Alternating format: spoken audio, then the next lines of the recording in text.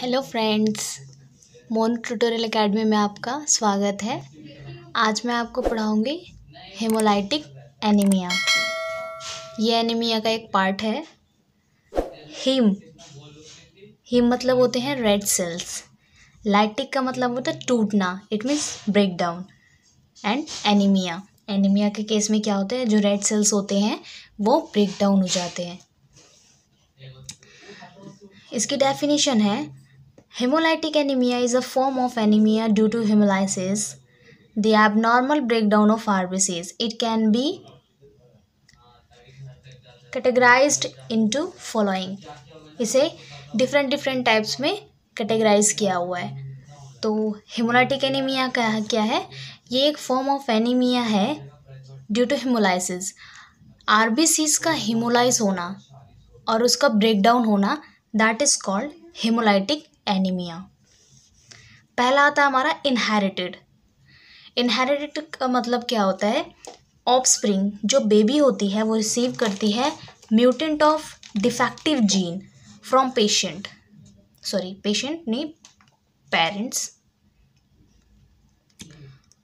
offspring receive mutant of defective gene from parents parents से जो baby defective gene gain करती है, जिसकी वजह से क्या होता है? Defective gene can cause changes in haemoglobin structure और ये डिफेक्टिव जीन क्या करते हैं? हीमोग्लोबिन के स्ट्रक्चर को चेंज कर देते हैं, जिससे क्या होता है? आरबीसीज मेम्ब्रेन और any enzyme related to RBC और इससे क्या होता है? जो आरबीसीज के ऊपर या फिर हीमोग्लोबिन के ऊपर जो एंजाइम्स होते हैं उनमें जो एंजाम्स होते हैं, वो उससे रिलेटेड नहीं हो पाते, उससे अटैच नहीं हो पाते और क्या होता है जो आर होती है, वो हीमोलाइज्ड यानी ब्रेक डाउन होना, यानी टूटना स्टार्ट हो जाती है। ये होता हमारा इनहेरिटेड जो पेरेंट्स से मिला है।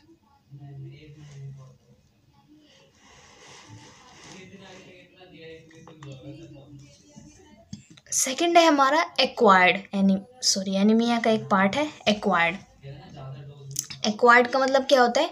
Person is not born with haemolytic anaemia but develop और acquired within life time because of mutation in the gene controlling and expression of haemoglobin and RBCs acquired का मतलब होता है बाद में गेन करना. एंड इनहेरिटेड का मतलब क्या था? डायरेक्टली जीन से, यानी अपने पेरेंट्स से जो मिला है. ठीक है? एक्वायर्ड का मतलब होता है, एक पर्सन जो है, उसे हिमोलाइटिक एनीमिया नहीं है, जब वो बॉर्न हुआ था, जब वो ऑफ़ स्प्रिंग था, यानी बेबी था। उसके बाद जब वो पैदा हुआ, उसके बाद उसको एनीमिया डेवलप हुआ और उसने एक्वायर किया लाइफ टाइम में।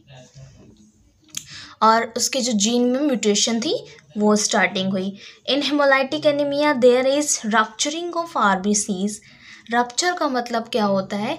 ब्रेकडाउन ही होता है आर का। And release of cytoplasmic contents into the surrounding fluids अब क्या होगा? जो एनीमिया होंगे, उससे आर रप्चर होंगी और जो उसका साइटोप्लाज्मिक जो जितने भी मटेरियल कंटेन करेगा, वो फ्लूड्स के सराउंडिंग में फैल जाएगा।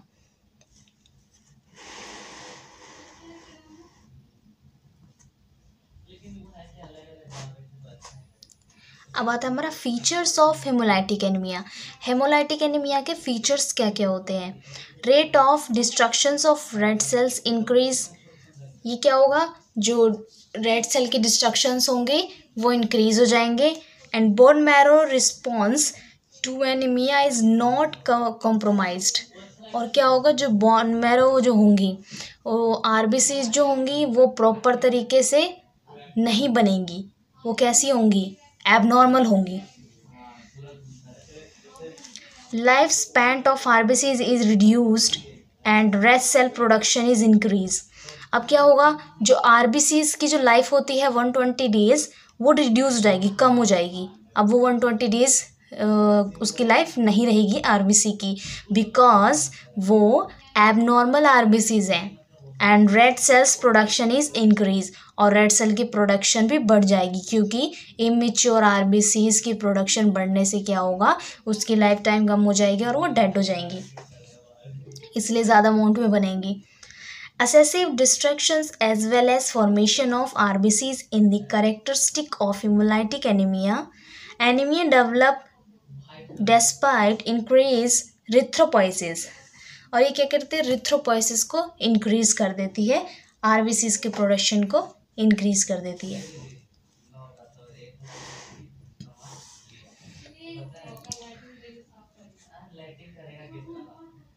फ़र्स्ट है हमारा इंट्रावस्कुलर हिमोलाइसिस हिमोलाइसिस का मतलब क्या होता है? कहीं पर ब्रेक डाउन हो जाना आरबीसीज का दैट इज़ कॉल्ड हिमोलाइसिस यानी रेड सेल का टूट जाना। When break down of RBCs occur in blood vessels is called intravascular haemolysis intravascular क्या होता है? इंटर यानी अंदर वस्कुलर यानी आपकी वेन नसें जो हैं, और हीमोलाइसिस मतलब रेड सेल का टूटना। अगर आपके वेसल के अंदर कोई रेड सेल ब्रेक डाउन हुआ है तो उसे क्या कहेंगे? इंट्रावस्कुलर हीमोलाइसिस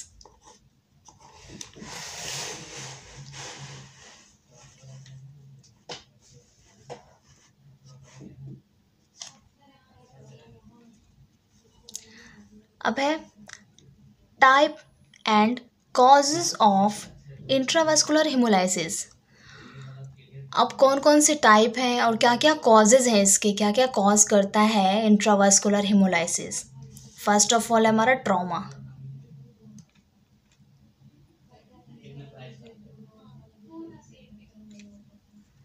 ट्रॉमा के केस में क्या होता है?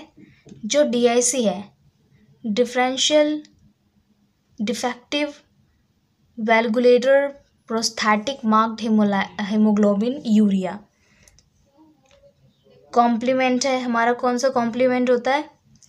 Incompatible blood transfusion proximal haemoglobinuria and toxins होते हैं हमारे स्नैक वेनोमा स्पाइडर वेनोमा और पॉइजन एक्सेट्रा ये टॉक्सिन होते हैं। और पैरासाइटिजन्स क्या होते हैं? Plasmodium Bartonella. अब है एक्स्ट्रावस्कुलर हेमोलाइसिस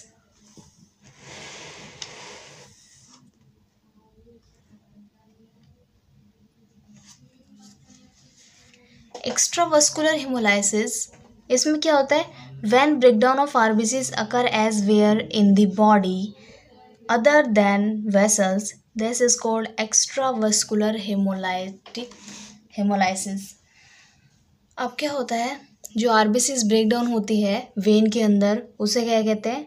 इंट्रावास्कुलर एक्स्ट्रावास्कुलर का मतलब होता है वेन में ना होकर उससे अलग, यानी उससे बाहर। Type causes of extravascular haemolysis अब एक्स्ट्रा हिमोलाइसिस के टाइप के और उसके कॉजेज क्या हैं?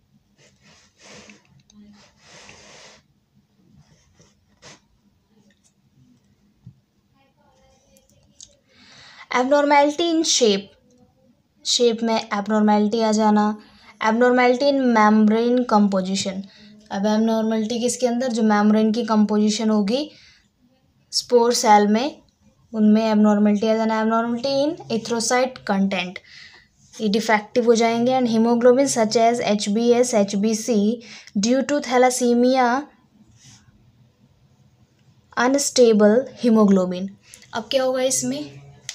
जो हीमोग्लोबिन होगी थैलासीमिया के केस में, वो अनस्टेबल हो जाएँगी, जो हीमोग्लोबिन होगी।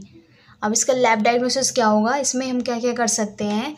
इसमें लैब के क्या क्या टेस्ट हो सकते हैं? इसे पता लगाने के लिए कि हाँ उसे हिमोलाइटिक एनीमिया है या नहीं, उसे एक्स्ट्रावास्कुलर इंजरी है या नहीं, उसे इंट्रावास्कुलर इंजरी है या नहीं कौन कौन से कॉजेज़ हुए हैं कौन कौन से टाइप्स हैं इनहेरिटेड है या क्वायर्ड है?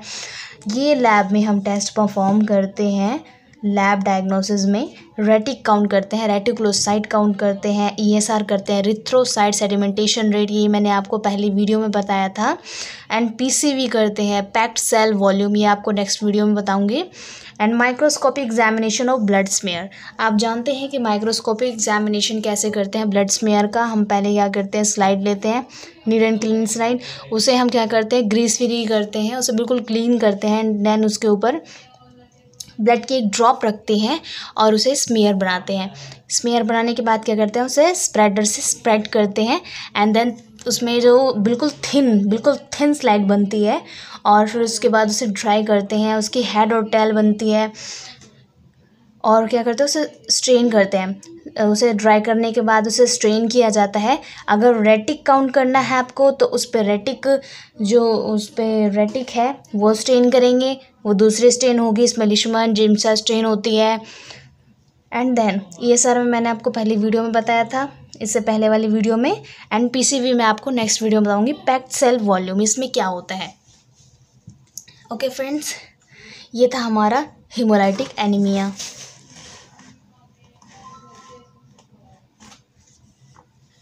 आज का हमारा ये टॉपिक यहीं पे फिनिश होता है। आपको ये वीडियो अच्छी लगी तो प्लीज़ प्लीज़ इसे लाइक कीजिए और ज़्यादा से ज़्यादा शेयर कीजिए। अगर आपको कोई भी डाउट होता है, इसमें कुछ भी आपको पूछना है तो आप कमेंट करके पूछ सकते हैं और मैं आपके डाउट्स को क्लियर कर दूँगी। ओके फ्रेंड्स ठीक है? Thank you bye bye please like कर दीजिएगा एंड शेयर ज़रूर कीजिएगा एंड कमेंट में ज़रूर लिख कर बताइए वीडियो आपको कैसे लगी, ताकि मैं आगे आपको और वीडियो बना सकूँ और पीसीवी जो मैंने आपको बताया पैक्ट सेल वॉल्यूम ये मैं आपको नेक्स्ट वीडियो में बताऊँगी okay thank you so much